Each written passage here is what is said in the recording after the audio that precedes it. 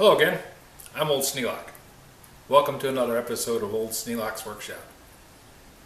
Today we're going to be carving a stone. Not the old-fashioned way with a hammer and chisel, although I do like doing that.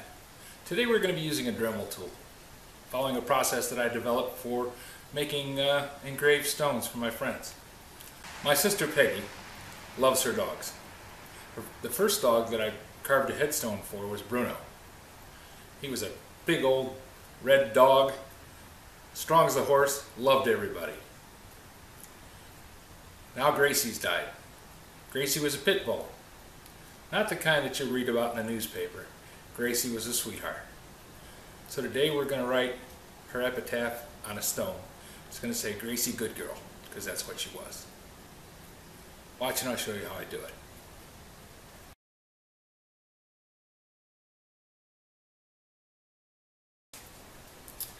First step in the process is to design the layout of the drawing. Now I've done letters and I've done some pictures, but today we're just going to be doing letters. The way I do that is I take a computer program and I print out what I want to say on the rock. Then to make the design stick to the rock so that I can use it as a template. Today I'm using uh, Weldwood Multi-Purpose Spray Adhesive, Permanent or Temporary Bonds, Fast Act, and Mist Spray. I've used poster cement, I've used scrapbook cement, uh, I even used rubber cement, although I wouldn't recommend that. It does work, but it's really hard to get off. This, because I'm just going to be tacking this onto the rock, and having it hold in place while I use it as a template to carve through. Gives me the outline of the shape and the letters. I'm only going to spray just the paper.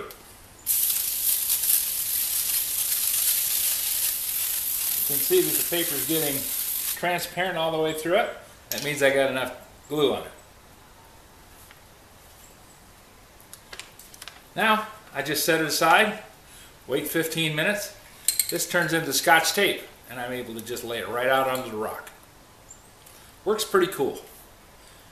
It's a long time figuring this part out. Because this is a little dusty, I'm doing it out in the garage with the garage doors open. The fine dust that comes off the rock has a tendency to kind of be suspended in the air. In my old workshop, I'd take the dust collector and hook it up. Here in the garage, I just open the doors and let the dust blow out. Got the back door open, wind's blowing through takes all the dust out and puts it on the hood of my truck. i have to wash that later. I have several different stones that I use.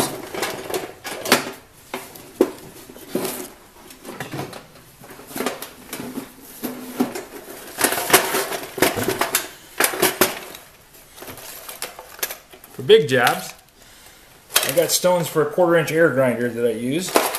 Works quite well. I have this triangular stone.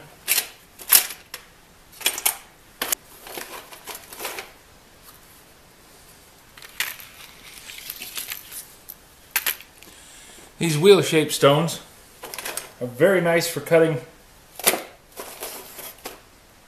around small sections. And for veining, like if I want to put a leaf in the rock, that does a good job of outlining the leaf and making the veins in it so it stands out.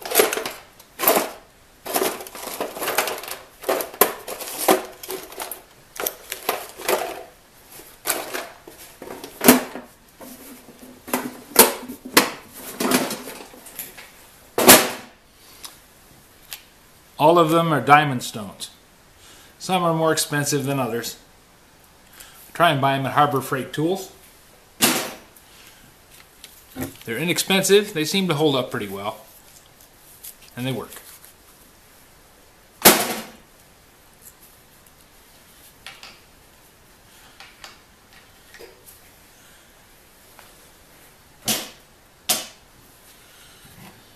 Because I'm working on straight sections,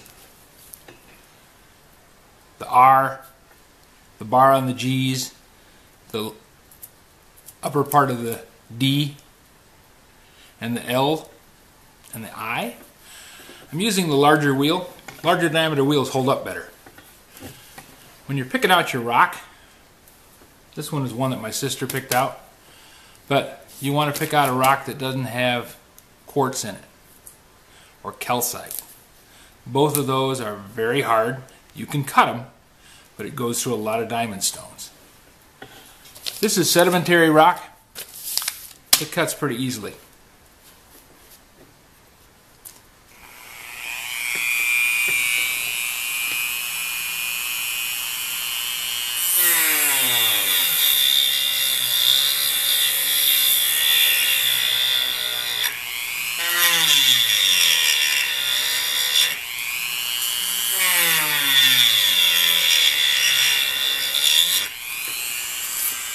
Try and cut to the edge of the letter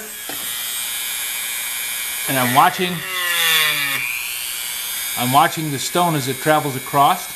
I'm trying to make sure that I just cut away the edge of the black.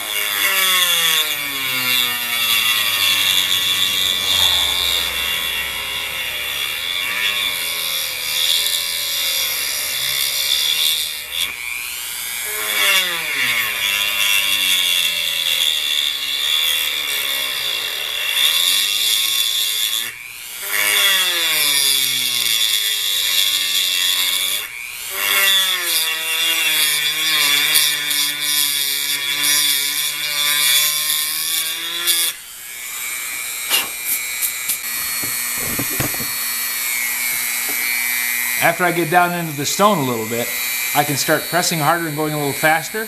But right now, I want to just make sure that I outline that edge really, really well.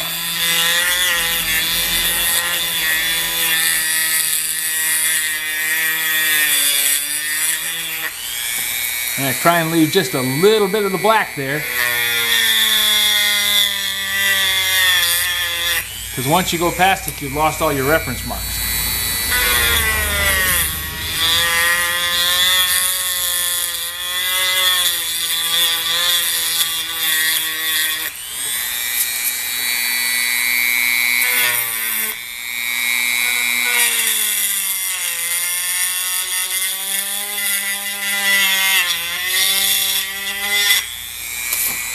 The other thing I do is I try and use the rocks as steady rest. I'll show you a little better how that works.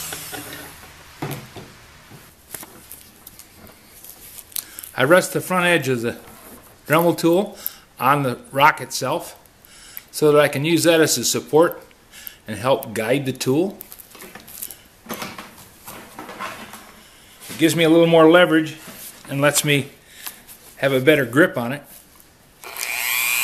because I don't want the bit to catch and skitter away on me.